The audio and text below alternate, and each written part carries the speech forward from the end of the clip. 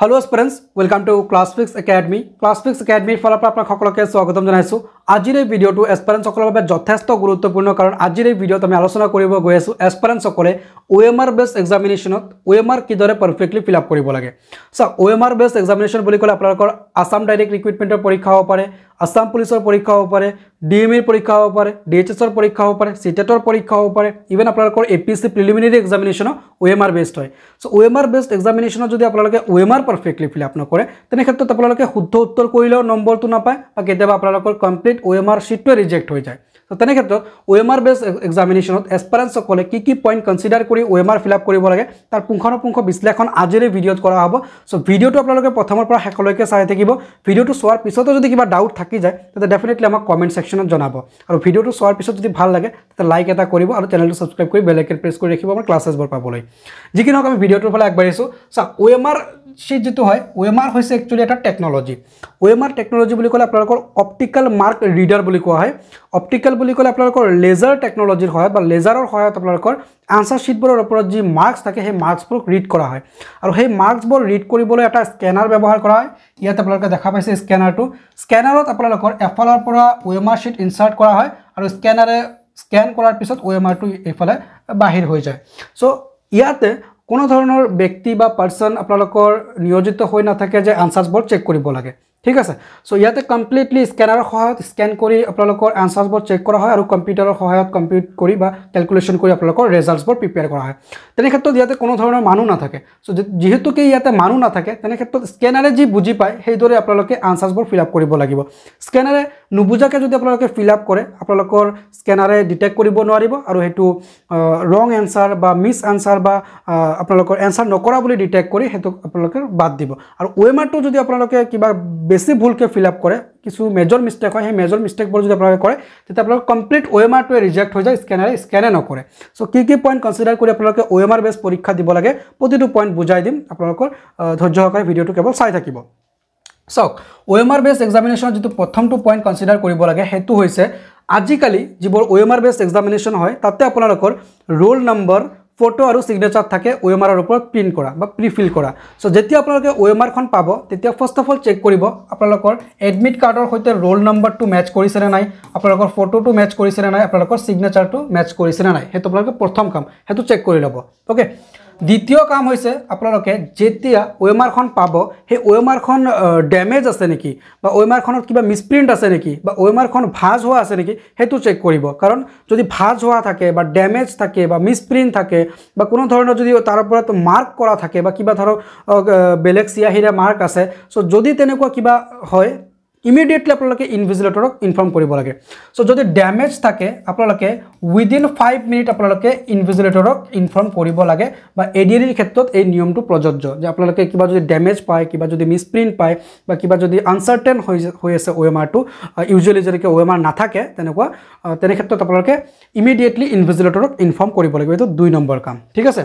তিনি নম্বৰ যিটো কাম বা তিনি নম্বৰ যিটো পইণ্ট সেইটো হৈছে আমাৰ যে যেতিয়া আমি অ' এম আৰখন পাম আৰু কুৱেশ্যন বুকলেটখন পাম কুৱেশ্যন বুকলেটত যিখন আমাৰ কোড থাকিব সেই কোডটো আমি অ' এম আৰৰ ওপৰত ভালকৈ ফিল আপ কৰিব লাগিব।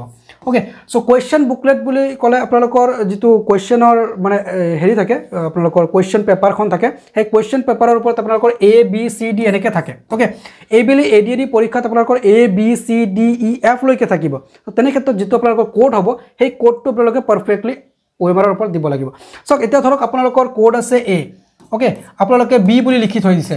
তেতিয়াহ'লে কি হ'ব? চাওক প্ৰতিটো কুৱেশ্যন বুকলেটৰ এনচাৰ্ছ মানে বৰ বেলেগ বেলেগ হয়। মানে কুৱেশ্যন ছেটআপটো বেলেগ হয়।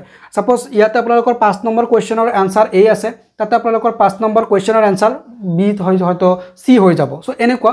চ' ভেৰি কৰে। চ' সেই ক্ষেত্ৰত আপোনালোকে কুৱেশ্যন বুকলেটৰ এগেইনষ্টতে আপোনালোকৰ আৰখন চেক কৰা হয়। সেইকাৰণে আপোনালোকে কুৱেশ্যন বুকলেটটো কেতিয়াও ভুল নকৰিব। ঠিক আছে?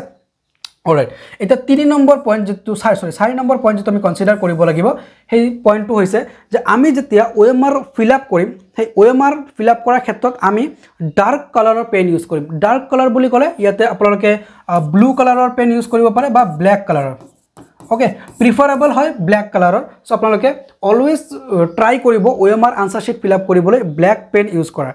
ব্লেক পেন কিয় ইউজ কৰিব লাগে? চাওক ইয়াতে স্কেন কৰি ৰিজাল্ট প্ৰিপেয়াৰ কৰা হয়। চাওক যেতিয়া স্কেন কৰা হয় যেনেকৈ আপোনালোকে জেৰক্স মেচিনত পাইছে যে ব্লেক এণ্ড হোৱাইট থাকিলে জেৰক্সটো ভাল আহে হয়নে নাই? চ' সেই সেই গতিকে আপোনালোকে ব্লেক পেনে যেতিয়া ফিল আপ কৰিব স্কেনাৰত স্কেনটো বহুত ভালকৈ হ'ব আৰু আপোনালোকৰ কেতিয়াও মানে যেনেকৈ নম্বৰ কমি যায় বা স্কেন নহয় এই দিগদাৰীবোৰ নহয়। ঠিক আছে? অলৰাইট নেক্সট আপোনালোকৰ যিটো পাঁচ নম্বৰ পইণ্ট সেই পাঁচ নম্বৰ পইণ্টটো গুৰুত্ব দিব লাগিব। আপোনালোকে বাবলবোৰ পাৰফেক্টলি ফিল আপ কৰিব লাগিব। অ'কে অ' এম আৰ যেতিয়া ফিল আপ কৰিব ছাপ'জ এনেকৈ আছে আপোনালোকৰ এ বি চি ডি আপোনালোকৰ ধৰক এটো এনচাৰ হয়। এইটো বহুতে এনেকৈ অলপ ফিল কৰি থৈ দিয়ে। এনেকৈ ফিল কৰিলে আপোনালোকৰ এইটো মিছ আনচাৰ বুলি মানে ডিটেক্ট কৰা হ'ব বা আপোনালোকৰ এনচাৰ নকৰা বুলি ডিটেক্ট কৰিব। চ' আপোনালোকে বাবল এটা পাৰফেক্টলি ফিল আপ কৰিব লাগিব আৰু ইয়াৰ বাহিৰতো যদি বেছি ওলাই যায় চাপ'জ এনেকৈ ফিল আপ কৰিলে এই বাহিৰৰ ফালে এনেকৈ ওলাই গৈছে সেইটো আপোনালোকৰ কনচিডাৰ কৰা নহয় কেতিয়াও। ঠিক আছে? চ' আপোনালোকে পাৰফেক্টলি ফিল আপ কৰিব অলপ টাইম লাগিব যদিও আপোনালোকে ভালকৈ ফিল আপ কৰিব। আৰু টাইম আপোনালোকে দিব কাৰণ আনচাৰ্ছটোহে আপোনালোকে কাৰেক্ট কৰিব লাগে। এতিয়া মেথছ এটা কৰিছে এক মিনিট এক মিনিট কৰাৰ পিছত আপোনালোকে এনচাৰটো যদি বাবলটো ফিল আপ কৰাতে ভুল কৰি থৈ এনচাৰটো মানে ভুল হৈ যায় তেতিয়া আপোনালোকৰ একো লাভেই নহ'ব। চ' তেনে ক্ষেত্ৰত আপোনালোকে বাবলটো ভালকৈ ফিল আপ কৰিব। ঠিক আছে? নেক্সট যিটো পইণ্ট ছয় নম্বৰ পইণ্ট সেই পইণ্টটো হৈছে আপোনালোকে যেতিয়া O' M R answer sheet fill up কৰিব তেতিয়া অলৱেজ কেয়াৰফুলি ফিল আপ কৰিব। কেতিয়াও যাতে আৰ আনচাৰ শ্বীটটো ডেমেজ হৈ নাযায়। ডেমেজ বুলি ক'লে আপোনালোকে কেতিয়াবা ধৰক R answer sheet fill up কৰি আছে পেনটো এনেকৈ ঘহতে ঘহতে বোলে ফাটি গ'ল আৰখন তো এনেকুৱা যাতে কেতিয়াও নহয় বা এনেকৈ এনেকৈ ফিল আপ কৰিব ফুটা হৈ গ'ল। এইটো যাতে কেতিয়া নহয় আৰু অ' এম আৰ আনচাৰ শ্বীটখন যাতে আপোনালোকৰ ভাজ নহয় এইটো মনত ৰাখিব। পৰীক্ষাৰ হয়তো আপোনালোকৰ ইমান ব্যস্ত হৈ পৰে পৰীক্ষাৰ সময়ত যে আপোনালোকৰ মনত নাথাকে অ' এম আৰখন ভাজ হৈ গ'ল। চ' অ' এম আৰ ভাজ হৈ গ'লে কিন্তু আপোনালোকৰ এটা ছিৰিয়াছ ইছ্যু হয় অ' এম আৰ ডেমেজ বুলি কনচিডাৰ কৰা হয় আৰু সেইটো কিন্তু আপোনালোকৰ গোটেই অ' এম আৰটোৱে ৰিজেক্ট কৰি দিয়া হয় এইটো আপোনালোকে মনত ৰাখিব পইণ্ট ঠিক আছে? নেক্সট যিটো পইণ্ট সেইটো হৈছে আমাৰ সাত নম্বৰ পইণ্ট সেই সাত নম্বৰ পইণ্টত আপোনালোকে কি চাব লাগিব?